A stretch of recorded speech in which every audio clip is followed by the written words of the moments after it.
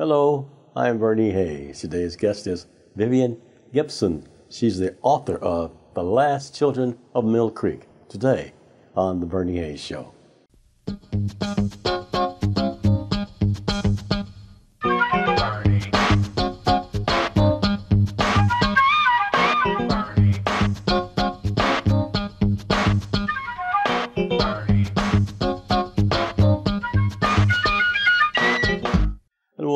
Welcome. I'm Bernie Hayes. My guest is Vivian Gibson. Ms. Gibson Oracle. Hi, how are you? Good I'm morning. good, doing great, and thank you for coming. Thank you so much. I'm so happy to be here. Oh, your book is the talk of the town. It's this really the talk of the nation. Wow. You know, and Amazon got wonderful reviews. Every book, the review that I've seen on it is just, just, just tremendous. What made you? Well, tell us about the last Children of Mill Creek. Why? Is, what is this a book? What's it about? Well, The Last Children of Mill Creek is about my memories as one of the actual last children of a community that has been erased, a segregated black community in the heart of downtown St. Louis. Um, it was a black community from around the turn of the century uh, in St. Louis until 1959 when it was demolished to um, build Highway 6440. So it uh, is that story of all these black people who lived there, who uh, strived and worked and educated their children, many of them coming from um, the South and the Great Migration North to uh, live in St. Louis and have a better life. Um, when the highway funding came, became available from the federal government, uh, 465 acres of black people in a segregated community, Sure. which meant we couldn't live anywhere else, uh, had to be displaced. And so, over a period of a, probably about five years, um, the city had to figure out where we would go. That's the story of so many other cities. I mean, urban renewal, they call it, Urban renewal. or Negro removal. yes. That's what it was. That's now, right. Mill Creek, for those who do not know, uh, Union Station is located in the Mill Creek area. Union Station Mm-hmm. is is pretty much considered the easternmost boundary. Okay. The western boundary of the urban renewal portion of Mill Creek, which was Mm-hmm. the heart of Mill Creek, uh, goes from Grand, which is where St. Louis University is today, okay. uh, along Lindell, which turns then into Olive, Right. goes down to um, 20th Street, which is where Union Station is, goes over to the railroad tracks, uh, back up either Chouteau or the railroad tracks to uh, Grand again. And so that's 465 acres. However, the highway is only about a half mile wide strip that goes along those railroad tracks. But they demolished all of those homes uh, that went from uh, the railroad tracks over to Olive, uh, up to Grand and 20th Street. And really didn't have a plan for that land other than to put that one strip in. They just wanted to get rid of those black people that were there And break up that voting block. break up that voting block, that community. It was a community. And I am reluctant to say anything positive about segregation, but what it did was create a support system for all of those black people uh, in that community. And we've never had that kind of culture and community in St. Louis since that time. How important do you think Mill Creek was to the country? to the country, there were a lot of important people who came out of that community. Um, the only high school there was Vashon High School, and it was built in 1927 for those children of Mill Creek. Uh, before that, the only school for black children was Sumner High School. But there was such an influx uh, in that migration north uh, that they had to build a second high school. And uh, Elston Howard, uh, so many people came out of that community uh, and that high school uh, politicians, artists, uh, activists, lots of activists. So when poor Southerners, rural people come into this, came into St. Louis, even many of them then went to the Ville, but almost all of them came through uh, Mill Creek. I remember uh, my, I was headed to Zambia, Louisiana, in 1956 to be a disc jockey, and I stopped in St. Louis and Mm-hmm. through Union Station, and uh, I always remember this this restaurant. It was called Crown Restaurant, Crown Restaurant You had the know. best cornbread I've ever had. and then, and then you, you gave me a gift. You brought a gift to me. Yeah. It's called The Last Children of Mill Creek, and uh, on the back of it is a daddy's pot liquor. it says a flavorful and nutritious broth simmered with smoked pork, salt, pepper, vinegar, and the tangy tart flavor of slow cooked turnip, mustard, or collard greens. How did that come about? Well, my father was a hardworking man. Um, he worked two jobs. There were eight children in our family. My my father worked two jobs. My mother was a stay-at-home artist and craftsperson. Um, and my father would go to work at five o'clock in the morning, get home at five o'clock in the evening, sit in front of the TV and, with a TV tray, watch the news, eat his dinner, and a half hour later go to his second job. And he didn't get home until about 10 o'clock at night from the second job, which was a janitor at our church. Uh, and by the time my father got home, most of the time what was left was the pot liquor. Pot liquor. yeah. And he would crumble cornbread into that pot liquor, eat it, go to bed, and wake up five hours later and go to uh, his job again and start that over. And so he loved pot liquor. Uh, and so I thought it was just apropos to give everybody that recipe. That is so very nice. We have about four minutes left in this segment. Could you read a few passages from the book for us? Yeah, I'd like to read you the uh, a story called "Sun Up to Sundown," and it's the story that the publisher got uh, that get, when I got the uh, publishing contract. Okay. Many of the women on Bernard Street, including my grandmother, left home before daylight to catch as many as three streetcars that transported them to manicured communities just west of the city limits. They arrived early to homes where they cooked and served scrambled eggs for breakfast and readied white children for school. The rest of their day was spent cooking, cleaning, and doing laundry until boarding streetcars in the evening to return home, just in time to go to bed. Grandmama said that there were sundown laws that mandated people of color to be off the streets in the county at by sunset. If she had to work late, her white folks, that's how she referred to her employers, would drive her to the Wellston Loop to catch an eastbound streetcar back to the city. Grandmother, my grandmother was in bed by 7:30, which was our time to be quiet. A slammed front door, a burst of laughter, or the rhythm, rhythmic thumps of Sam Cooke singing, Another Saturday night, and I ain't got nobody on the radio would elicit familiar rapping on her bedroom floor, where there was a broomstick leaning against the wall for an arm's length away just for the purpose of pounding a signal of silence. Sometimes, out of frustration, she would shuffle in her well worn bedroom slippers to the top of the stairs and call down to my mother in a commanding tone made no less threatening by her shaky, weary voice Francis, make those children be quiet. The space that divided my grandmother's quietness from our constant hum of, an, of had another appeal for me. It was my opportunity to eavesdrop on my grandmother's cloistered existence just feet away. There was always a low murmur from her brown molded plastic zenith radio that sat on a crowded table just inside her bedroom door. The black rotary telephone that took up most of the remaining place on the small table rarely rang in the evenings.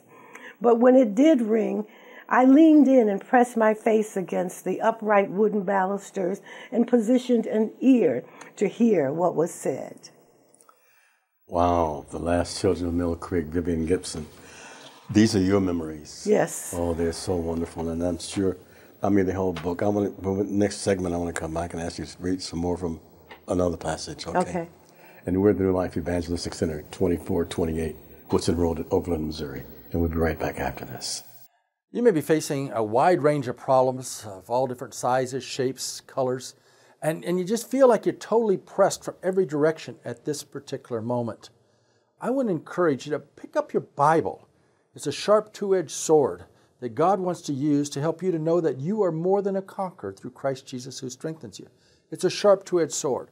On the one side, you'll learn to praise God and trust Him in the midst of your own personal needs. On the other side, you'll see the need for social justice. You'll see the need to feed the hungry, to help the homeless, to help the downtrodden. It's a sharp two edged sword. So, yes, we need to be personally strengthened as we read the Word of God, as we begin to pray, as we trust God in the in our midst of our own personal needs.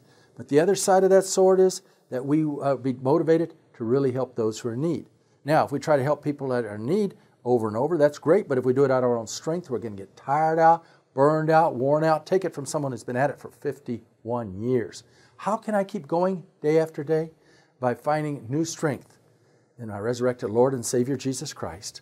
Faith cometh by hearing, and hearing by the Word of God, reading the Word of God, walking in the midst of God's creation where there's so much variety, and praising Him in spite of all the trials and tribulations. Because no matter how high the problem may be, or no matter how low it goes, for example, Romans uh, chapter 8. Yes, it starts out in verse 1 there's no condemnation, ends that there's no separation. No separation from the love of God. That no matter high we go, no matter low we go, no matter far or wide we go, God's love is there. Move forth in the love of God, experience the power of God. Let the Spirit of God show you needs that you can be an answer to someone's prayer who's crying out to the Lord at this particular moment. They may be homeless, they may be hungry, they may have a personal need, they may be lonely. But you can be God's instrument to bring hope and help to so many people that are suffering at this particular time. Yes, the Word of God works, faith works. Let's experience it, let's live it. When you partner with New Life Evangelistic Center, you impact so many people. The economy in this country is really hurting so many all over. And we're seeing the number of people who are experiencing homelessness rise. You can make a difference today by giving your gift online at newlifeevangelisticcenter.org. newlifeevangelisticcenter.org. Make a real big change in the lives of so many. And welcome back. Vivian Gibson is my guest, and she's the author of The Last Children of Mill Creek. Uh, Ms. Gibson, what was your inspiration for writing the book? Well, it's hard to say because I, I, don't think the book started off as a book initially. It mm-hmm. was simply writing stories, writing my memories for my children. My parents died before my children were born, and it was an effort after I retired one, to just be able to do what I wanted to do, sure. but secondly, just to record these memories for my children, to have a sense of what my life was like, uh, to introduce them in personal stories to my parents. It was only when some of my stories got out to uh, a publisher that that publisher approached me and told me these are good stories. People want to hear this and uh, we started negotiating a book contract. Well, tell us about Vivian Gibson. Well, Vivian Gibson is uh, a, a person who's just about enjoyed every second of my life. I uh, had I, I, went to school. I went to Vashon High School. Graduated from uh, high school in 1968. Uh, I was Miss Vashon of 1968. Oh, wow. And uh, I went off to college. I went to uh, the Fashion Institute of Technology in New York City, lived there for 10 years, married, and um, my husband and I, with my young baby, uh, went to live in Liberia, West Africa. I was there for a coup the first coup that wow. happened in, in Liberia, we had to escape. And I've just written a story about that called 20 Minutes Notice, where we had 20 minutes notice to get out of the country. Um, so that's part of maybe the next book. Sure. Um, so I've just had businesses. i am a serial entrepreneur. I enjoy just doing what makes me happy, and writing this book was one of those things. I don't understand cooking is one of your Cooking is one of. I've had catering businesses. Mm-hmm. I've had a, a line of hot sauces and seasonings. Um, so I'm one of those people when you say, "Oh, you want to sell that," and I go, "Okay." so uh, I am now retired. This book has changed my life. I spend a lot of time doing these kinds of things, talking about this book, talking to students, which I, I, thoroughly enjoy, just getting the story of this erased community out to new students and hoping that they will learn uh, what has happened to uh, communities like ours that have been erased all over the country, and maybe when they're in charge, uh, they'll handle things differently.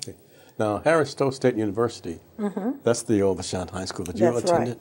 Yeah. yeah. I attended, I didn't attend that building. My okay. father did and okay. my oldest sister because sure. they were still living in Mill Creek at the time. Mm-hmm. I'm, I went to the Vashon, that's the second iteration okay. of Vashon. You know, there's been three. Sure. Mm-hmm. So I attended yeah. Vashon at Grand and Bell. Okay. This is wonderful. This is so good to know. Could you just read a little bit more of the book, The Last Children of Mill Creek? Well, this, this story is called The Cat, and it really has to do with the fact that we were segregated in this, this poorly maintained community. And um, so this gives you a sense of, of how we lived and how we survived. And after you finish that, we want to know how we can get the book. Okay, great. Okay. The cat. That's what we call the mottled gray muscular tabby that roamed the perimeters of our cold water two family dwelling we called home. It strode, brushing against the fences between the yards and the back alley like a predator, methodically patrolling its territory. I always knew it was there, but I didn't look directly at it. We never thought of the cat as a family pet. It was utilitarian, practical, like a farm animal. Its purpose was to control the rats. We didn't name it or touch it. We didn't feed it. Mama must have given it water and scraps during the day, which accounts for its loyalty to our house. All we wanted was for the cat to hunt rats at night. In late fall and winter, the rats came inside at night. Daddy and the boys plugged holes with steel wool, held in place with chicken wire, and hammered flattened tin cans in corners where the floor and the baseboards met. Huge, powerful rat traps had permanent positions in the stone wall basement where my brother slept in the summer. On a brisk November evening, my brother Honey and I were sitting on the back steps waiting for the last light of day to fade before we had to go in for the night. The cat slowly emerged from behind the coal shed at the far end of the backyard and paused, as if to indicate it was her yard now. Honey glanced up and, while rising from the step, confessed to an unasked query. I'm more afraid of the cats than the rats, especially at night when they sound like babies crying in the alley. I was reassured to hear that it was cats I heard at night and not babies. As if egged on by the cat's appearance, we entered our dimly lit kitchen and closed the door behind us.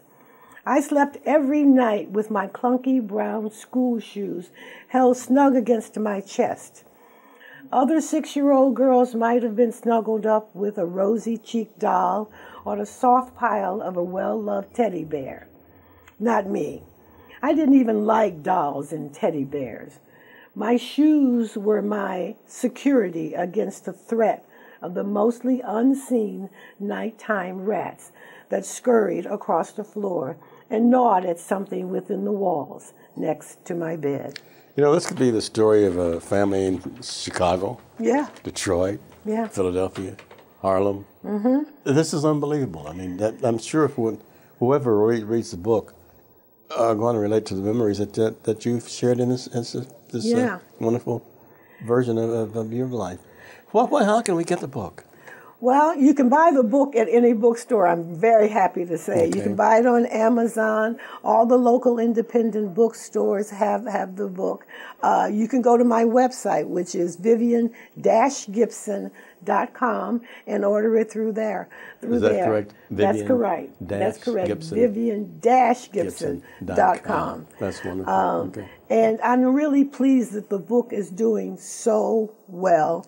I wrote it three years ago, and it's still selling like crazy. It's it's like a brand new book to so many people. I know. You know, and uh, I I was uh, in the office uh, of uh, Dr. Eileen Phillips at, at Harris State University, and she had three copies of the book. Yeah. right, it was just sitting there in front of me on my desk. I said, yeah, that's, they that's they uh, bought a bunch of the books uh, a, a few months ago for students in, in certain classes to, to read, and so I'm happy that, Yeah. that students are reading this. and you met with the president recently, I understand. Yeah, yep. I met with the president, and we're going to do a special commemoration uh, of uh, Vashon High School and its association and its location in Mill Creek to get the students at Harris Stowe State University more aware of the place that they're in, this space. And the people around the country and around the world who read the book, what do you hope they get from it? This story is universal. This story certainly is national in terms of people of color and their communities being displaced for highways and, and so called progress in urban centers. So, this is not just a St. Louis book. This book has, uh, Meaning to everyone. yeah, Certainly. Yeah, it Okay. certainly does. And we'll be right back with uh, Vivian Gibson. We're at the New Life Evangelistic Center, 2428 Woodson Road in Overland, Missouri. And I'm Bernie Hayes. We'll be right back after this. The Bernie Hayes program is uh, produced at NLEC TV uh, right here at 2428 Woodson Road in Overland, Missouri. It's our new headquarters since they closed the 1411 Locust building. We're working to get back into that building. In addition to that, trying to help so many people through a wide variety of safe houses, training programs, transportation assistance, so many ways people are getting help because of all of you that are supporting the work of New Life Evangelistic Center. Now, if you'll send a gift of $25 or more, we want to send you this special, the Bernie Hayes Show cup. And we're giving that to people. It's just a way of saying thank you. So when you send your gift, request a cup. We'll be happy to get it off to you. It's New Life Evangelistic Center, P.O. Box 473, St. Louis, Missouri. That's 63166. You can give online at nlecstl.org. Now I'm really asking all of you to join us in praying. The needs are so phenomenal at this particular time. So many hurting and homeless people are contacting us daily, but we're able to help them because of each one of you that are praying, caring, and sharing at this time. Tell your families and friends about NLEC TV and get directly involved yourself. Today's subject, Professor Mia Bay. She's a Roy F. and Jeanette F. Nichols Professor of American History at the University of Pennsylvania. Prior to arriving at Penn, Bay worked at Rutgers University, where she was a professor of history and the director of the Rutgers Center for Race and Ethnicity. Professor Bay is a scholar of American and African American intellectual, cultural, and social history, whose recent interests include black women's rights and thoughts, African American approaches to citizenship, and the history of race and transportation. She holds a PhD from Yale University and a BA from the University of Toronto. Bay's publications include The White Image in the Black Mind, African American Ideas about White People, To Tell the Truth Freely, and A Life of Ida B. Wells. Bay's current projects include a new book entitled Traveling Black, A Social History of Segregated Transportation, and a book on the history of African Americans and their ideas about Thomas Jefferson. Mia Bay. God loves a cheerful giver. Even though things are really tough right now, you can make a difference in the lives of so many. New Life has been doing this work for 50 years, and we have seen God's gracious goodness through people like you who have participated in this work. There are so many people who are suffering. More people are, are becoming homeless for the first time uh, with the rising costs of uh, inflation and food and housing and so many other commodities. We need help. You can make a difference today in the lives of so many by giving your tax deductible gift to P.O. Box 473, St. Louis, Missouri. Or go to newlifeevangelisticcenter.org or call to get involved in this incredible work. And welcome back. The Last Children of Mill Creek. Vivian Gibson. Ms. Gibson, is that your picture on the on the book cover That's there? that's my picture on the book cover. I'm about uh, probably about seven years old and uh, wearing my favorite Easter dress.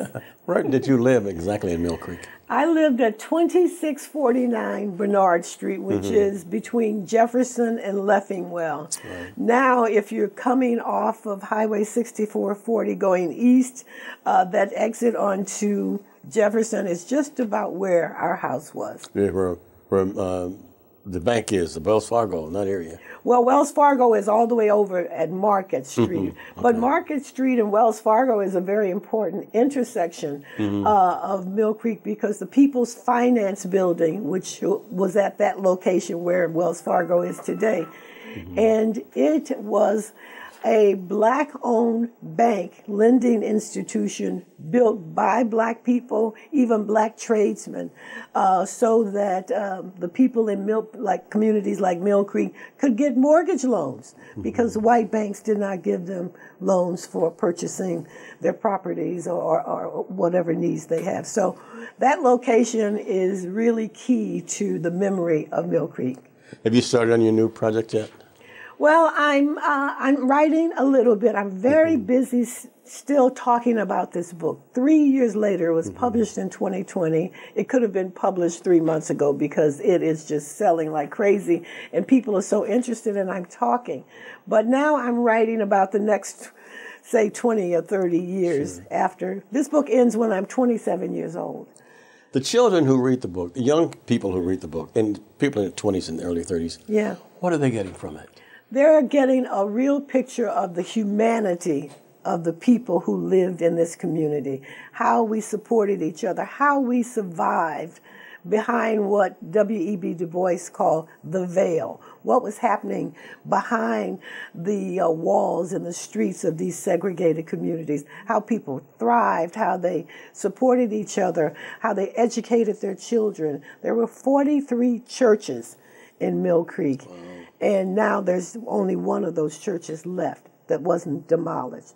So they'll learn what our lives were like and how we um, thrived And survived. and survived. Yes. So once again, how can we get the book? You can get the book anywhere. Uh, I'm happy to say uh, you can certainly buy it online through a- Amazon, but any independent bookstore, and you can buy it from my website, which is vivian-gibson.com.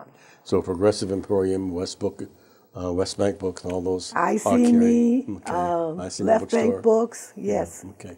So that's Barnes uh, and Noble. Yeah, okay. Yes. This, this is wonderful. Uh, I, I, I can't tell you how much I appreciate not only you coming by and reading some passages from The Last Children of Mill Creek, but also for the gift that you brought me. so I'll always have your picture with me. That's right. the Last Children of Mill Creek. How did you um, come about with the just the title?